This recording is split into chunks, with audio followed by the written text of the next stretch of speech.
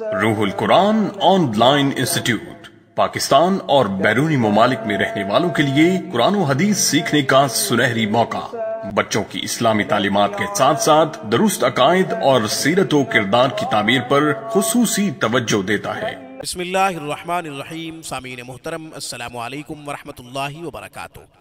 सामीन कराम आज हम या हमीदू का ख़ास अमल आपकी खिदमत में पेश कर रहे हैं। या हमीदों के बेशुमार फ़वाद हैं। नाजरीन कोई शख्स चाहता है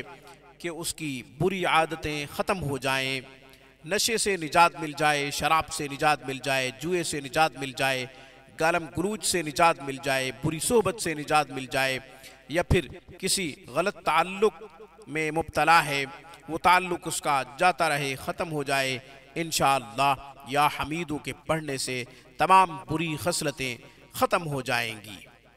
सामीन, कोई शख्स चाहता है कि शराब छूट जाए, जुआ छूट जाए, उसकी बुरी आदतें ख़त्म हो जाएँ, नशा वगैरह में मुबतला है, वो उसकी आदत ख़त्म हो जाए, पैसे बर्बाद करता है,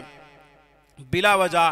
पैसे ज़य करके आ जाता है, यहाँ तक कि घर की चीज़ें भी बेच देता है, या हमीदू की बरकत से इन तमाम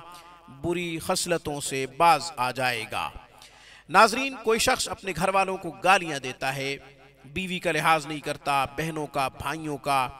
माँ बाप का भी लिहाज नहीं करता, यहाँ तक कि अपने बच्चों को गालियाँ देता है तो या हमीदों की बरकत से इन गालियाँ देना भी छोड़ देगा। मिसबिहेव करना छोड़ देगा, तोहन, आमेज, कलिमात इस्तेमाल करना छोड़ देगा। गुस्सा हो या फिर आम हालत में इन वो अपने रिश्तों को पहचानेगा, भाइयों को भी पहचानेगा, बहनों को भी पहचानेगा, अपनी बीवी की हुरमत को भी पहचानेगा, अपनी औलाद को भी पहचानेगा, अपने माँ बाप के तकदस को भी पहचानेगा इन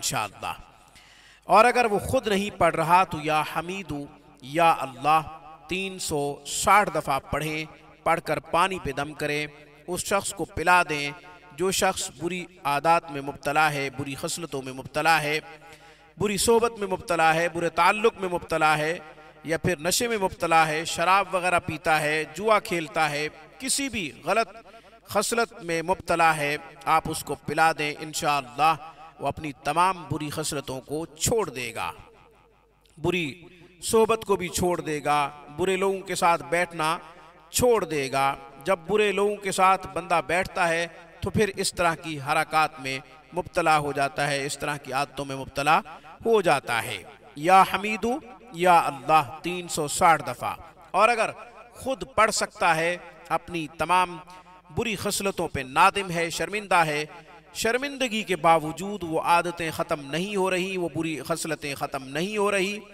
तो फिर या हमीदू, या अल्लाह एक सौ दफ़ा हर नमाज़ के बाद पढ़े। या हमीदू, या अल्लाह एक सौ दफ़ा पढ़े, पढ़कर अल्लाह ताला से दुआ करे, या अल्लाह,